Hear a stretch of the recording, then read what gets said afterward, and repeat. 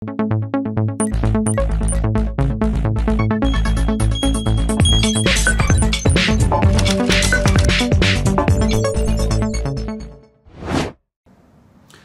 وسهلا بكم مشاهدينا الأعزاء معكم رائد الخضر رئيس قسم الأبحاث في مجموعة ايكويتي نعود إليكم مجددا في فيديو نتحدث فيه عن آخر التغيرات في الأسواق المالية العالمية. طبعا آه، الفيديو اليوم من مكاتب ايكويتي في عمان.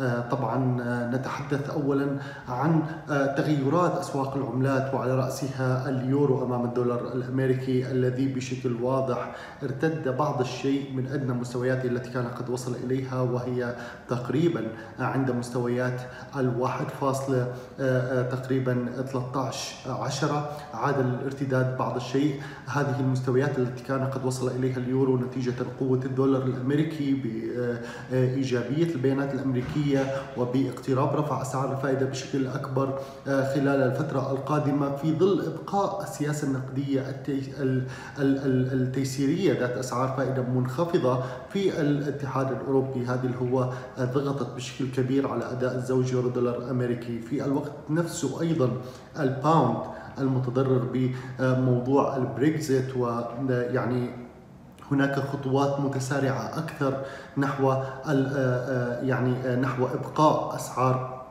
عفوا إبقاء الشروط الراهنة لخروج بريطانيا من الاتحاد الأوروبي في خانة ال hard Brexit يعني لا يوجد علاقات تجارية إيجابية آه، كما كانت سابقا ما بين المملكة المتحدة والاتحاد الأوروبي. خروج صعب خروج كامل من الاتحاد الأوروبي. وبإعادة بناء العلاقات التجارية هذا الأمر ضغط على الجنيه الاسترليني حقيقة بشكل كبير وقد وصل إلى مستويات الأدنى منذ شهر 6 العام الماضي والتي توافق تقريبا لمستويات ال 1.26 عشر. الآن استقر بعض الشيء أداء الجنيه الاسترليني أمام الدولار الأمريكي خلال تعاملات اليوم ولا يعني أبدا استقرار وتوقف النزيف وإنما إمكانية مزيد من الهبوط باستهدافات قد تصل إلى ما دون مستويات ال 1.25 في ظل هذه الظروف الصعبة ما لم يأتي جديد فيما يتعلق بالبريكزيت أو انفراجة نوعا ما. الموعد المنتظر للبريكزيت هو شهر أكتوبر آه، حيث سوف يكون الشكل النهائي لاتفاقية الخروج من الاتحاد الأوروبي لبريطانيا. في الوقت نفسه لدينا أيضا الذهب الذي انهارت اسعاره دون مستويات ال 1200 دولار للأونصة. وصلت أسعار الذهب تقريبا آه، آه، إلى مستويات ال 1160 دولار للأونصة. ذلك حدث بالتحديد ليلة يوم أمس. يعود للارتداد بعض الشيء ولكن الارتداد نوعا ما ضعيف ولا يزال عند مستويات ال 70 إلى ال 74 1170 إلى 1174 دولار للأونصة. انخفاض الذهب مرده الاساسي حقيقة لقوة الدولار الأمريكي تفضيل المستثمرين للدولار الأمريكي كملاذ آمن على الذهب عودة ارتفاع أسواق الأسهم الأمريكية انخفاض توترات الحرب التجارية خصوصا بعد أن آه، ذكر أن هناك وفد من الصين سوف يتجه إلى الولايات المتحدة الأمريكية لمناقشة حلول تسهيل موضوع آه، تداعيات الحرب التجارية داخل الدائرة ما بين الصين والولايات المتحدة الأمريكية والرسوم زيادة الرسوم المتبادلة ما بين البلدين.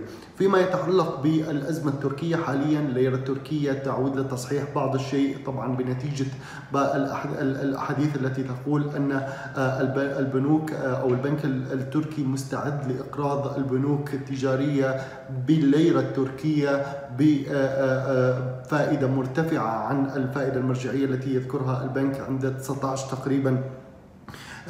بالمية أو 19.25% وهذا حديث يعني لم يتم إعلانه بشكل رسمي بعد على الرغم من أنه البنك ذكر أنه لن يقوم برفع أسعار الفائدة بوقت قريب ولكن نوعا من تدارك الأزمة أو لتدارك الأزمة قام بهذا الأمر. ورأينا ارتفاعات لليرة التركية أمام الدولار الأمريكي تقريبا آه، هذه الارتفاعات وصلت إلى آه، مستويات آه، ال 20% كارتداد. بالنسبة لي أسعار النفط حقيقة أسعار النفط تعرضت للضغط. شهدت انخفاض ملموس يوم أمس وصلت إلى يعني مستويات متدنية دون ال 65 دولار للبرميل بنتيجة مخزونات النفط الأمريكية التي أظهرت ارتفاعا مفاجئا وغير متوقع بالمخزون بلغ مقدار هذا الارتفاع حوالي 6.8 مليون برميل. لكن قوة الدولار الأمريكي تضغط على أسعار النفط وجود ارتفاع في المخزونات وبالتالي ضعف الطلب أيضا متوقع على على النفط.